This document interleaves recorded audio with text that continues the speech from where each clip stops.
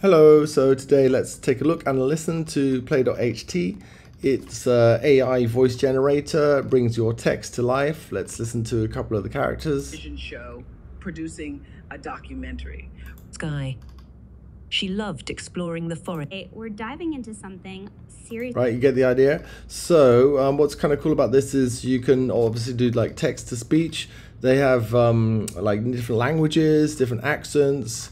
Um, you can create, and if we jump into the pricing, you can see there's a free version not available. They have a $19 a month creator version. They have an unlimited $99 a month. And if we like show in action what it sounds like, let's. I wrote this text, uh, but um, I uploaded like about 17 seconds of, of voice only. They do ask for like 30, and uh, this is what it spits out in terms of quality of the bot. normally, and now I can type anything, and it will just create an audio file that sounds just like me. Totally bonkers. Hey, So if we play that again, hopefully we this is not me. It's a bot that sounds like me. Pretty freaky, right? I mean, I just uploaded a video that was 17 seconds of me talking normally, and now I can type anything, and it will just create an audio file that sounds just like me. Totally bonkers. Okay, you get the idea. Anyway, I would say advanced level, and there's integration with IVR stuff, which is like interactive voice response if you're a business that needs to handle lots of people making phone calls.